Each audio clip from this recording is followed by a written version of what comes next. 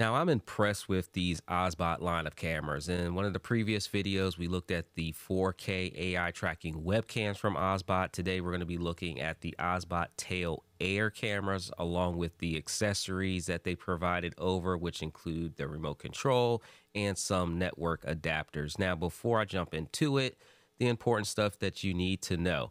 OBSBOT did send me over this equipment for review and testing and all that good stuff to share with you. However, they paid me no money to produce this video or say anything specific about their devices. So they sent it over for review, and I've been checking out these cameras for the last few weeks.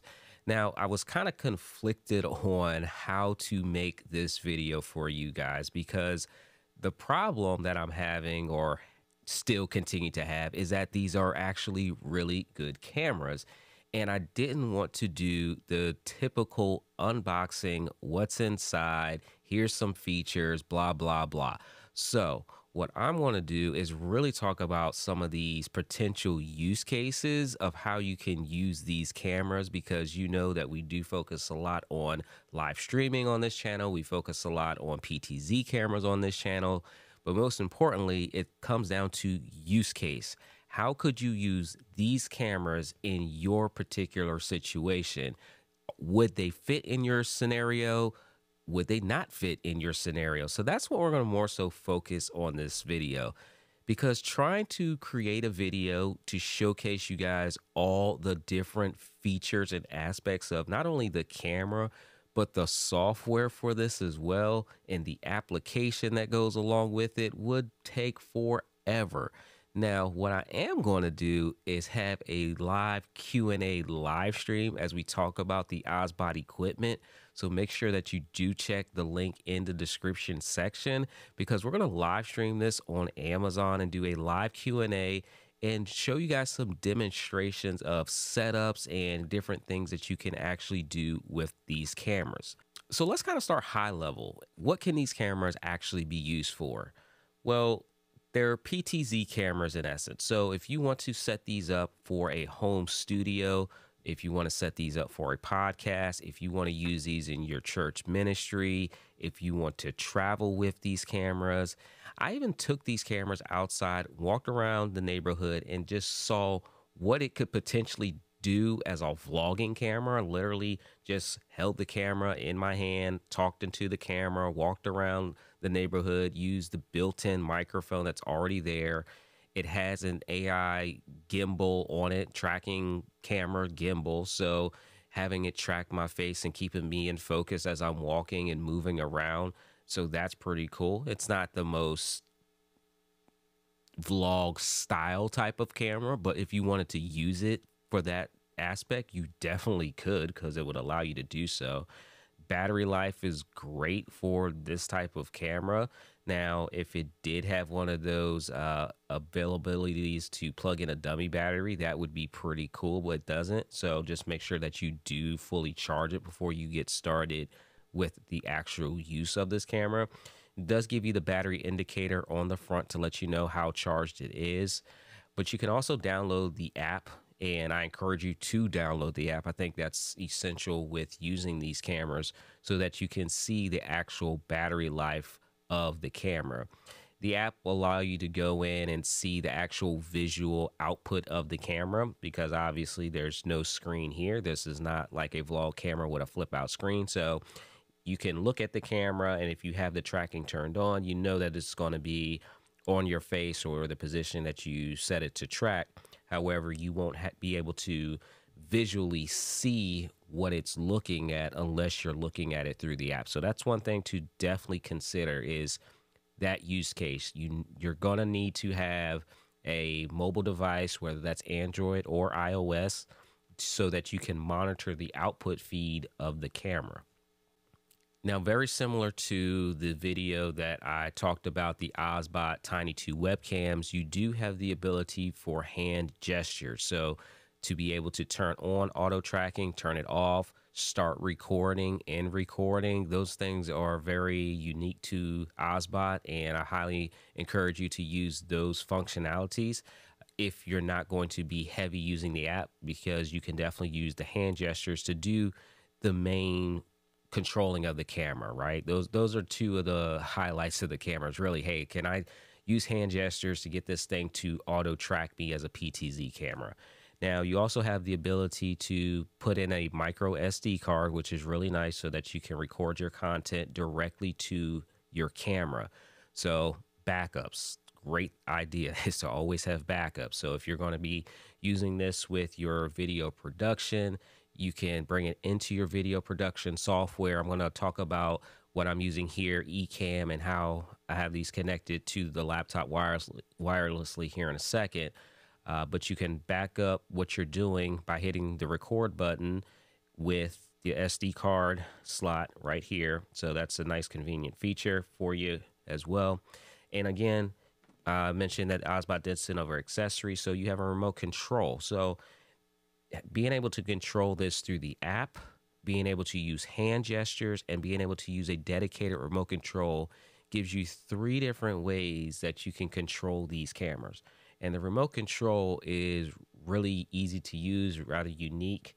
It does allow you to have three different cameras programmed so that you can control each camera individually, turn on the tracking, turn off the tracking, move it around left, right, up, and down. So, all the controls that you would have, or that you would want, I should say, you have in that controller. So, really nice to have the flexibility to really use these in any way that you want.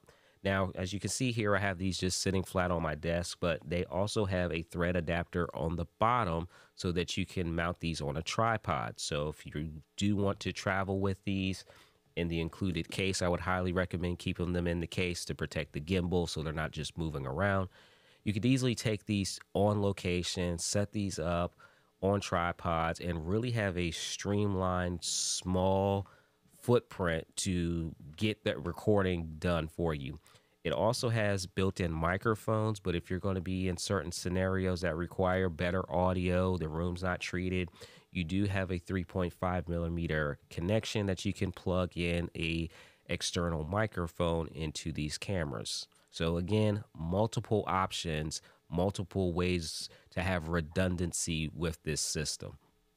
Now, the part of this that really excites me is being able to use these cameras in a live streaming environment, what can you do when that is the scenario?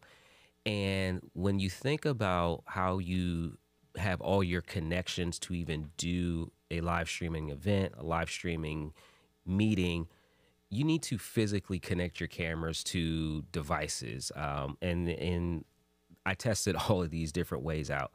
You can use USB C from this camera and connect it to your computer directly and bring this camera in as a webcam. So that's great. You can use the micro HDMI out and connect it to a full size HDMI and run it into a video switcher like my ATEM Mini that's off to the side here and bring it in through your ATEM video switcher. So that's another way you can do this. So I could bring all three of these in physically over my video switcher system and switch between my ATEM Mini between the different cameras. I could do that. You can connect these through NDI. Now, NDI is what I more recently got all my cameras, my other PTZ cameras in here set up for on my network.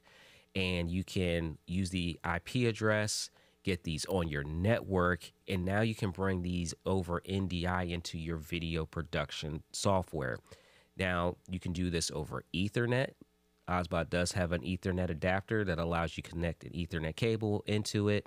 And then you can connect your Ethernet cable into your networking switch. So that's really nice. And so you have that hardwired network connectivity and you can bring it in. And I've used Ecamm here, which I've recently talked about. I've switched over to Ecamm as my primary live streaming and video recording software of choice. Uh, it is Apple based, so if you have an Apple computer, definitely check the link in the description to check out Ecamm. And with Ecamm, it picked up the NDI, not only the physical connection NDI, but this computer right now is wireless NDI. So you can see in Ecamm, I'm actually moving the this uh, camera around, and this is the camera that I'm moving around right now, and it is wirelessly connected into Ecamm. So let me pause right here because this is kind of the, the the reason I really am excited about this video. I have each of these cameras with the ability to have NDI and I can wirelessly bring all three of these cameras into Ecamm and have a wireless video live streaming setup. No cables. How cool is that setup? So, if you're looking for something like that that is portable, that you can just have on the go, or if you want to have it there physically all the time, a wireless NDI connection is powerful. Now, another thing that you can do that I was like, oh, I'm on NDI, I have an NDI uh, PTZ controller. I actually put one of these cameras and programmed it into my PTZ Optics Super Joy controller and can control it over NDI wirelessly. So let me see here. I'm going to do this in real time as I'm recording this video because I forgot which group I put my camera in. So I'm going to see if I can go into my group here. So group two, camera one. All right. So I am wirelessly over NDI and I have this programmed into my SuperJoy. And as you can see, I am moving the controller on my SuperJoy and I am moving the gimbal of this OBSBOT Tail Air camera. Now that's pretty cool. All right. So let's go turn it all the way back around over here. So NDI is powerful when it comes to setting up your live streaming and video production, and it makes your workflow way easier. Now, obviously, if you want to, like I said, you have the ability to physically connect all of these devices up. But if you use the right software and the right hardware for your application, you can get away with not having to use certain equipment. And so, for this environment, in a traditional live stream setup, with three cameras, I can't connect three cameras physically into my laptop, but an alternative is a video switcher. But I can actually bypass having a video switcher because I can use NDI and bring all three of these cameras into Ecamm over the network. So I don't even need a video switcher because Ecamm basically has a video switcher built in and I can switch between the different cameras inside of Ecamm because it has that capability. So, what I am excited to do, like I said earlier in the beginning of this video, is really show you guys through live demonstrations and answer those Q&As in an upcoming dedicated live stream because these cameras have so much flexibility in the configuration setup process. Now, because these cameras are 4K, you're really getting that high quality of video, being able to zoom in and not lose quality of your overall uh, video signal. So that is another bonus with these particular cameras. So I'm excited for you guys to check out that video. And if you haven't already, hit like here, hit subscribe here. Check out the Tiny 2 webcam video if you haven't. And I'll see you guys in this next video.